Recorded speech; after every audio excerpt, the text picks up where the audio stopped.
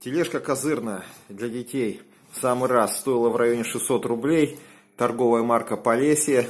Ну, это известная фирма выпускает в том числе детские игрушки с самой разнообразной тематики. Белоруссия, они еще выпускают под торговой маркой Вадер. Ну, это Полесье, Вадер, в принципе, одно и то же. Шла такая инструкция, не очень сложная, но, к сожалению, не совсем понятная в плане крепежа. Пришлось именно крепежа непосредственно самой корзинки к основанию тележки. Тут была такая хитрая конструкция, что пришлось потом понять, почему не идет а вот эти места надо было вогнать сюда и отвертку иметь. Потому что если пробовали рукой это делать, надо было подогнуть там такие штырьки плоские отверткой. И они туда как раз хватают непосредственно саму корзинку к основанию этой тележки.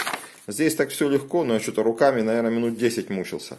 Потом думаю, думаю, да не может быть такого, чтобы это было так сложно. Еще бы, конечно, у них колеса поворачивались на 360 градусов, но как принято говорить, это была совершенно бы другая история. А так козырная, 600 рублей. Есть коляски детские, но коляски стоят чутарик подороже. Также видел тележку другой вроде фирмы, или то же самое Полесье. Она была даже двухуровня, то есть небольшая корзиночка внизу и такая корзинка наподобие этой наверху. И стоила в два раза дороже. Ну тут-то в принципе ребенку что внизу, что наверху сам этот цимус, он может по квартире катать, что сюда складывать свои любимые игрушки.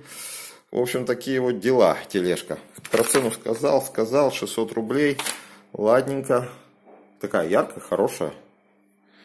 Можно, знаете, к холодильнику подошел, чтобы все не носить. Сюда стакан, 4 банки пива, орешки, рыбу вяленую. И вот так, как сервировочный столик, катишь, допустим, в гостиную. Все под рукой, очень удобно.